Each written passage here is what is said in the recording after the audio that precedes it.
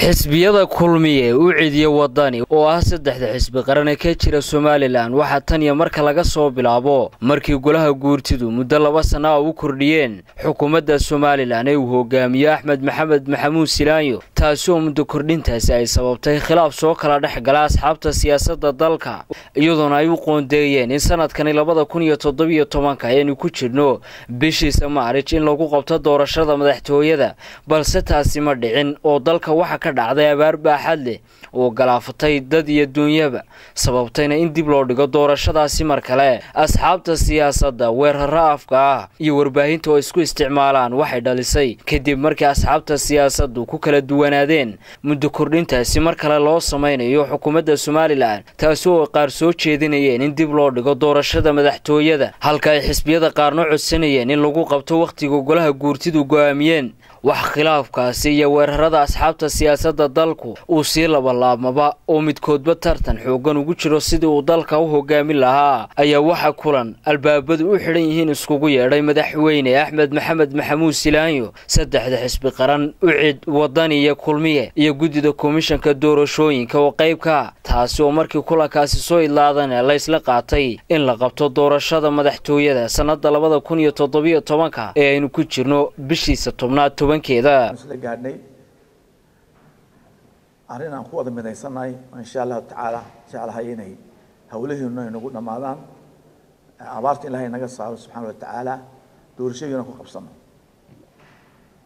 marka waxay iyadana inoo taagneed doorashadii baarlamaanka wakiilada iyo dowladaha hoose oo iyaguna waktigoodii in wakti cusub la qabto marka maanta waxaan ku heshiinay alxamdulilah rabb alcaalamiin in bisha october haddaa la idhaha tobankeeda laba kun iyo toddobiyo tobanka ay noo dhaco qabsoonto insha allahu tacaala kii madaxweynaha iyo madaxweyne ku-xigeenka la dooranayay inagoo eegna wakti roob inoo doo dadkooda ka soo doogaan intaasi kadib madaxweyne silaanyo waxauu warqad u gudbiyey golaha guurtida somalilan taasi oo kaga codsanayo inay u ansixiyaan heshiiskaasi iyadoona weli dadweynaha iyo shacabka u dhuundaloola arrimaha siyaasaduba ay u dhegtaagayaan go'aanka ka soo baxa golaha guurtida somalilan. Tv-ga somaali cable waxa uu fursad siiyey shacabka ku dhaqan magaalada hargeysa iyagoona siyaabo kala duwan uga hadlay muddo kordhintaasi. Marka maxamuud axmed cawad runaantii anu waxaan aad iyo aad u soo dhoweynaya muddo kordhinta loo samaynayo mudane axmed maxamed maxamuud silaanyo waayo runaantii maanta waddanka duruufo adag baa ka jira abaaraha ka jira. Dadkii maanta deegaamadeedu ma joogaan. Runaantii markaa waxaan anugu runaantii aad iyo aad dareenkayga aan aad iyo aad u soo dhoweynayaa golaha guurtidu beritoole kulankaa ay isugu imanayaan waanan ku faraxsanahay. Waxay yidhahdeen madaxweyne toddobadaa bilood baan ku darnay.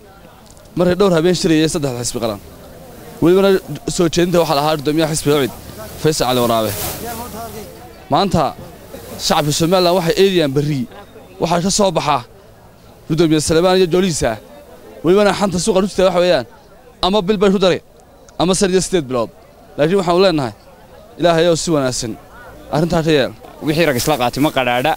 Markaa saddexda xisbi iyo guddida doorashooyinka waxay isla qaateen. Yaan loo dhaafin baan odhan lahaa kumishaku soo jaray ee soo jandagooyey ee ka soo tashtay ee saddexda xisbiyo madaxweynuba ogyihiin in aan laga dhaqaajin. Waxayna ku qurux badan tahay in mataqaan waxay golaa guurtuda ixtiraamaan. Waxay saddexda xisbi qaran iyo madaxweynuba gaadhay anugu waxaan taageersanahay fikirka axsaabta qaranka iyo komishinka qaranku ay isla qaateen waxaan leeyahay toddobadaa bilood. Guurtidu inay ka kordhiso ma habboona mar hadday berigii hore laba sano kordhisay iyadoonay hawlo badani jiro. Abaartan ka culus abaartan ka culustay tii hore waxa weeyaan toddobadaa bilood ee laysa almuslimuuna calaa shuruudihim. Muslimiintu waxay ku heshiiyaan weeyaan. Sidaasay ku heshiiyeen saddexda isbaqariya komishinku isla qaateen. Golaha guurtidu ma aha inay laba sano iyo intay doonaan ku dhuftaan. Waxa weeyaan waxaa la doortay madaxweynaha mandate buu leeyey shan sanaa la doortay one teeramkii la doortay. Laba teeram buu leeyey teeramka labaadna maaha inuu ku dhammaysto kordhin waxa weeyaan dadku isbeddel bay u baahan yihiin yuusuf kayse cabdilaahi xogayaha warfaafinta ee xisbiga ucid iyo injineer axmed cabdi ibraahin oo ah mas'uul ka tirsan xisbiga kulmiye ayaa dhankooda si kala duwan uga hadlay muddo kordhinta golaha guurtida baaqna u diray. Haddaba waxaan shacbiga reer somalilan u bayaaminayaa oo aan u caddaynayaa. Horta muddo kordhintan u cud baa keentay. Labada xisbiyee kale midna ma ogolayn iyadoo abaarahaasi jiraan oo dadkeennii aa og tihiin xoolihii inay ka dhammaadeen oo dadkii la soo daadguraynayo oo qaar dhinteen ayaa waxay damceen in laysku dul qabsado kursi. U cud baa badbaadisay dalka.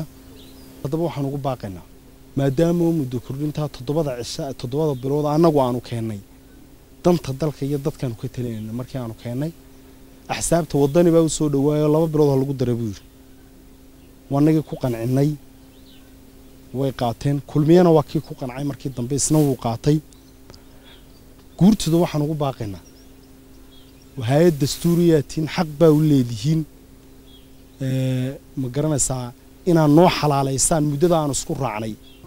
Anigu kolle xisbiga kulmiyaan ka tirsanahay xisbilxaakimka kulmiye ayaan ka tirsanahay. Xisbilxaakimkunbaa imika haya. Doorashadana sidaanu ku hanweynahay bulshada reer somalilan waxay u arkaan inay xisbilxaakimka mar labaad u dhiibaan. In badan ama majoritigu marka arrintaasi aniga kolley aad bay ii farxad gelinaysaayo haddii xisbigu sii haya iyo haddii xisbigu ku soo boodo labadaba dee markaan dhinac ahaan ka eego cabdilaahiyow waxaad mooddaa inay isku mid tahay aanan kala jeclaysanaynin. Marka laga eeg ayaa waxay xildhibaanada uu koobsada aqalka guurtida somalilan. Waxay u ballansan yihiin inay ku meel mariyaan ajandahooda labiyo lixdanaad muddo kordhinta madaxweyne silaanyo loo samayn doono. Welina lama filayo go'aanka rasmiga ee ay qaadan doonaan. Waxay duruus cabdilaahi ismaaciil beershiya telefishinka caalamiga ee somaali kebel hargeysa